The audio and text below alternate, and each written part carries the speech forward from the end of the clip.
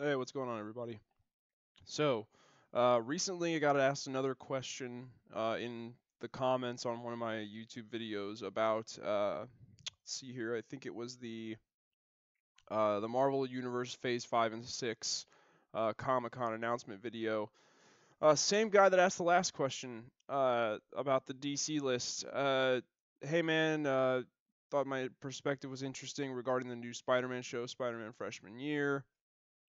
Uh, wanted to know what my thoughts were on Tobey Maguire, Andrew Spider-Man movies that came before, and are there various elements they should incorporate from them or not? Uh, so let's dive into that. First of all, just to kind of recap on what he's talking about, and also because I see a lot of confusion about this uh, online. He's referring to the new show that's going to be coming out on Disney Plus in like I think 2024 called Spider-Man Freshman Year. It's an animated show and it's basically going to be a mulligan for MCU Spider-Man. Uh, with the MCU, they've already established the multiverse and how there are alternate realities and things don't always pan out the same way in all realities. So that's well established, and th- that's exactly what they're taking advantage of with this show for Spider-Man this is going to be our Peter Parker right here. Very stereotypical, like early days Spider-Man comics looking Peter Parker. Uh, and then he's got some, you know, very diverse cast of uh, friends and whatnot here. I'm guessing this is going to be, I don't know who this is. I was assuming it was going to be Flash Thompson, but it says Bales. So, no idea. Um, forgive me, I'm getting over a cold. Uh, I kind of think this is going to be Harry Osborn, this guy right here. Uh, we shall see. But yeah, some of Peter's school friends. It's going to be a much more uh, traditional Spider-Man story. He's not going to be going to a college or a, not college, but a high school for super intelligent science people. He's going to be going to a normal ass fucking high school, like he should be. Because like, what's the what? There's nothing unique about Peter Parker being super smart if everyone at his school is super smart. Like it's like that was the whole thing. Like he was a, he was a bookworm. He was a nerd. That's why he got picked on. If he's at a school full of nerds, like who the fuck's picking on him? That was one of the stupidest things about the Tom Holland Spider-Man movies. Uh, something else that's gonna what else is gonna be going on? Here's a look at some of the suits. This is gonna be his typical Spider-Man suit. You know, very bread and butter. A couple other different costumes it looks like he's gonna wear throughout the series. What else we got? Uh, villains. We're gonna get some very uh, once again not, only are we getting more traditional in like his school and personal life setting in terms of villains we've got the chameleon excuse me we've got doc ock we got scorpion um, i wouldn't be surprised if this turns out to be rhino but yeah we're going to get some more typical spider-man villains. Doc ock looks great. Scorpion it's a nice updated look for scorpion. You can see his tail uh, typical spider-man villains typical spider-man school setting personal life setting this is all coming together real nice. And then uh, we got our first look. We got a look here at Norman Osborn. Uh, that's going to be one of the biggest changes about this show is that in the Marvel Cinematic Universe that we know, beginning with Civil War, Peter came home from school to find Tony Stark in his living room talking with his Aunt May. In this universe, for the the the, the multiverse, the MCU multiverse, uh, he's gonna come home and find Norman Osborn there from Oscorp and it's been implied that he's going to be rather than working alongside Tony Stark and Stark Industries, he's going to be working alongside Norman Osborn and Oscorp. But as we all know, Norman Osborn is the Green Goblin, and he's kind of nefarious and up to no good. So that'll be something that you know Peter has to deal with and navigate as well in this show. What else do we have going on? Oh, as would make freaking sense, He's going to interact with other New York superheroes like Doctor Strange and Daredevil in the show. Now, they have come out and they've completely said this is MCU canon. But people are like, well, how does that work? Because, uh, you know, uh, we already saw Spider Man and he didn't go to a normal high school and he met Tony Stark, Iron Man, instead of Norman Osborn. How could this be MCU canon? Well, I already told you about the multiverse, and you know, Loki the TV show told you about the multiverse, and Doctor Strange in the Multiverse of Madness told you about the multiverse. So if it hasn't clicked into your dumbass brain that this is probably an alternate reality within the MCU multiverse, I don't know what to tell you. But a bigger thing to consider, and this is where I kind of uh, what I kind of alluded to. pardon me, guys. This is what I kind of alluded to in my Comic Con video when this was first announced is uh damn it, I didn't even pull it up. Secret Wars coming up in the future, not too distant future. We've got the next big like end game thing is going to be Secret Wars. Now, for those of you who don't know what Secret Wars is, there is the uh, the original Secret Wars was back in I don't know, 70s, 80s, and that's where Spider-Man first got his black costume. They were all transported to this other like dimension called in a place called Battle World, and they were all forced to fight each other. It was an it was a whatever comic book series back in the day. It's very famous, like I said, for introducing Spider-Man's black costume, the symbiote costume. Uh, this that's not the secret that that mini series though is not the Secret Wars that I think they're going to be adapting for this movie when this comes out. Namely because they've done so so much to build up this multiverse idea that I think that what they're going to be going with is more something along the lines of this. Excuse me. This is the 2015 Secret Wars story, and I'm not going to get into like the overall plot of this, but just suffice it to say that that this storyline, this Secret Wars storyline in 2015, it culminated in the entire Marvel Comics universe, multiverse, whatever, just getting shaken like an etch a sketch and reformed into something new. So I think that is more or less where they're going to be going with this. They're going to when when this is all said and done right here, I think we're going to be looking at a shaken up and reformed MCU and I wouldn't be surprised if they take that opportunity to kind of like shake the etch a sketch on Spider-Man, like they tried to do with No Way Home, but there's so many like plot holes and discrepancies with that that it didn't really work. I think with this they're gonna be like, oh, the the Tom Holland, the three Tom Holland movies, you know, those those never happened. Fuck off. And instead they're gonna go, the main continuity is now this Spider-Man freshman year. Now, do I think this is a good thing or a bad thing? Personally, I think it's a good thing, and here's why. Uh, everyone loves Spider-Man. Spider-Man is a very beloved superhero, American pop culture icon, and the new the newer Sony movies, the Tom Holland did the character dirty. That's just a fact. All right. It took they they there was nothing in those movies that was like the, the classic traditional Spider-Man that everyone knows and loves. Nothing, nothing about those movies resembled that at all. Like there's no there's no Oscorp, there's no Osborns. You know, uh, his best friend is Ned Leeds, who that was some out of left field shit, making Ned Leeds his high school best friend. Uh, there's no Mary Jane. Uh, there's just this girl named whose initials are MJ, and she's kind of a punk emo chick. Uh, and then Liz Allan is the Vulture's daughter for some reason, and there's no Daily Bugle. He doesn't work for the paper. He doesn't take pictures of Spider-Man. There's no there. There was a J. Jonah Jameson, but it was bullshit. There was you know, there's no there's no that dynamic was missing. There's no Betty Brant. There's no Gwen Stacy. There's there's nothing. There's nothing about it that was like tri- typical Spider-Man. Tom Holland shined in Civil War, Endgame, and uh, Infinity War. Shined in those movies. In his own solo movies, it's just like, what the fuck? This is not Spider-Man. This is not. This is Sony trying, and Marvel, I guess. They're trying so desperately to to to live in this idea of oh you you have to constantly try new things and innovate you have to you have to be artistic and creative and no no no fuck off with your dumb bullshit fuck off just follow the formula just follow the formula. And the formula is Peter Parker is Spider-Man, goes to high school, normal high school. Flash Thompson is his bully. Harry Osborn is his best friend. Norman Osborn is Harry Osborn's dad. Norman Osborn becomes the Green Goblin. There's also other supervillains like Doc Ock, Rhino, Scorpion. Uh, Chameleon. He meets other New York superheroes like Daredevil and Doctor Strange. He's a young kid. Uh, Aunt May is old. He cares about her a lot. His first love in- serious love interest is Gwen Stacy. She dies. Then he meets Mary Jane. She's a bitch. Like that's Spider-Man. That's the formula. Follow the fucking formula.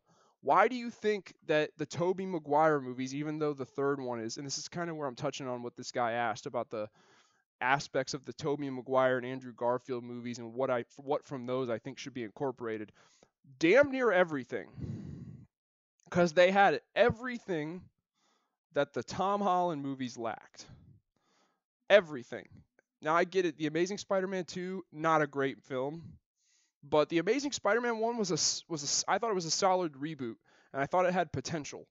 You know, there's and then to, to get on to the the Tobey Maguire movies, why are those, even though three is kind of meh, why are those considered often the best? It's because they stuck to the fucking source material and followed the fucking formula. They didn't go, how can we make this unique? How could we just like spice things up and make this like something that no one's ever seen before? Like let's put our own little spin on it. Let's be creative. Let's be let's be imaginative. Let's be artsy. No, follow the fucking formula.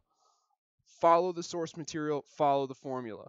They did that with the Tobey Maguire movies, and they did it with Amazing Spider-Man 1, and it worked. It was successful. Also, people like the chemistry between Andrew Garfield and Emma Stone was great, and people liked that they were introducing Gwen Stacy for a, for a change instead of jumping right into Mary Jane, because once again, that's source material and comic book accurate.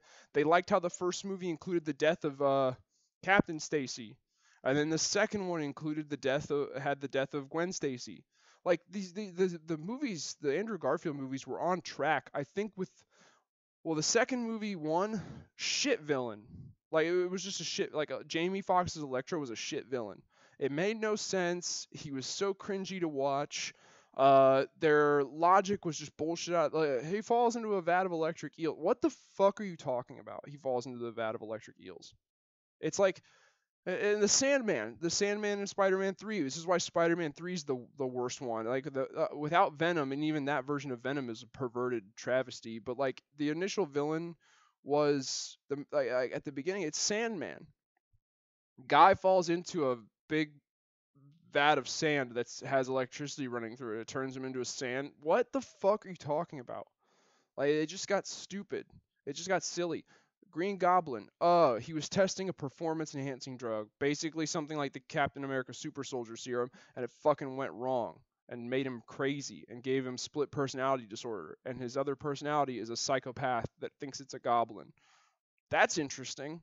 Doc Ock, these arms are like AI robo tentacle arms, and they took over my brain because the inhibitor chip got broken. That's interesting. But these people who are just like they get turned into these aspects of nature just by being exposed to that element in nature plus a little bit of sci- sci-fi bullshit like oh a vat of electric eels plus some sci-fi bullshit.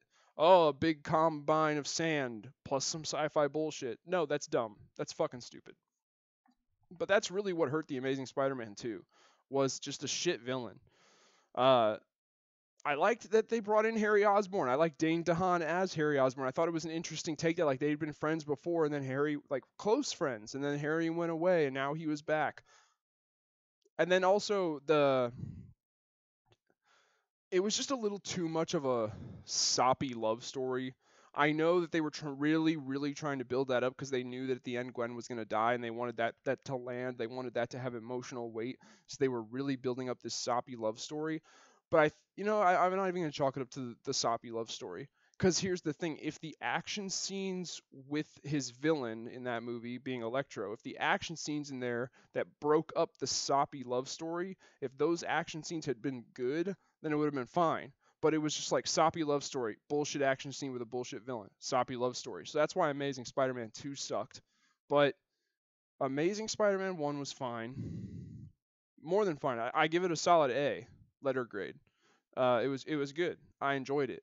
And then the villain in that one was fine. This dude is trying to use uh like animal he's trying to create new drugs from like the genetic the genetic material DNA of animals, and he's trying to regrow his missing arm. He tests it on himself, and it kind of works, but then it turns him into a lizard. Okay, cool, that works. You know, I can I could I can get on board with that. That's better than just like he's the Sandman. Why? Because he got electrocuted with sand. Oh, he's Electro. Why? Because he got electrocuted. Like that's just fucking stupid. But yeah, Amazing Spider-Man 1 was fine, and Spider-Man 1 and 2 with Tobey Maguire were great films. And these were all great films because they stuck to the Spider-Man formula.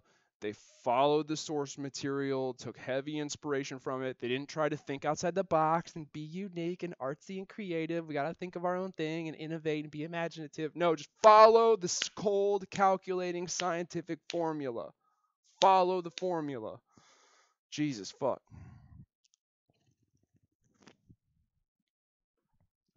if these people making this show, clearly they already have an animation style down. I don't know how much of a story plot, storyboard plot they have outlined, but these people making this show, if they want this show to be a hit, that easy, easy. I can tell you exactly how to do it. Watch the entirety, the entirety of the spectacular Spider-Man animated series and then emulate the absolute fuck out of that to the maximum amount that you possibly can. Boom, instant hit. Why? Because the spectacular Spider-Man was a hit, and people often call that the greatest Spider-Man animated series of all time. It it is. It is the greatest Spider-Man animated series of all time. Spectacular Spider-Man is that. So guess what? If you copy something that was done well, your copy will do well. It's kind of like I can't believe this is gonna sound shitty, but it's like in school, if you cheat and copy the answers of the person in front of you who has the right answers, then you too have the right answers and you get a good grade on the test. Just just copy. Just copy. Just do what was already done well. Just emulate that shit. Like why the Spectacular Spider-Man ended in the first place, I have no fucking idea, but it was such a good show. So that would be my advice. Just watch the absolute fuck out of Spectacular Spider-Man and then emulate as much of that as possible. And your show will be a success. And also, I really hope uh, Spider-Man is a guy, he punches his villains. He punches them, he kicks them, he throws them around, he physically hurts people. They're bad people, but he physically hurts people. So, just because this is a cartoon, don't sit there and be like, it has to be non-violent for the kiddo. No, fuck the kiddos. Fuck them. Also, more importantly, and a better argument, do you really think that there are any parents out there in the world who are going to let their children watch this, but they did not let their children go see Spider Man No Way Home, where he beats the living fuck out of the Green Goblin. Like just punch, punch, punch again and again and again to the Green Goblin's head. You think that there are parents who are going to let them watch this, but not that? No, they let them watch both because it doesn't fucking matter. So if I don't see Spider Man beating some ass in this show, fuck this show. That's my take on that. So, yeah, that's my take on that. Uh, I see a lot of potential for this show to do well. However, I could also see them fuck it up entirely. So, yeah, depending on how they do it. If it works out well, then I hope my prediction about them using Secret Wars to just kind of like sh- kind of you know push it into uh sh- Secret Wars, shake the etch a sketch, uh, draw something new real quick. Oh, look at that! Spider-Man freshman year was always it, it's the main continuity now. I I could get along with that if they do this well. If this turns out to be a bag of ass, I don't know. I don't know what to tell you. But uh, in terms of what was great about like the Andrew Garfield and Tobey Maguire movies, that's self-evident. They looked at the source material, they followed the source material, they followed the formula, and they didn't try to get too creative, artsy fartsy with it. So that's the deal with that. So that's my take on this. Let me know what you guys think. Leave some comments below, get the discussion started. To the guy that asked the question, I hope I answered your question. If not, sorry, that's the best I got. Uh, but yeah, leave some comments down below.